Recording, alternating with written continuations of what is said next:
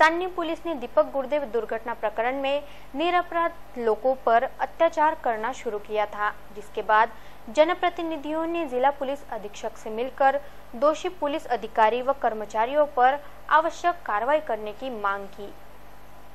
विवरा फाटे के पास दीपक गुर्दे नामक व्यक्ति की मौत दुर्घटना में हो गई थी, परंतु यह हत्या का मामला होने का संदेह चांदनी पुलिस को आने के बाद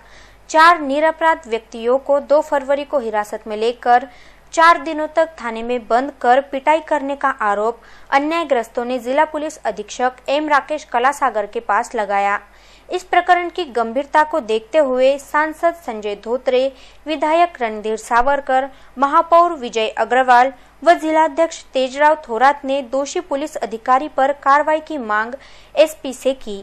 इस दौरान पुलिस अधीक्षक एम राकेश कलासागर ने इस प्रकरण की विस्तृत जाँच करने के बाद दोषियों पर कार्रवाई किए जाने की बात कही।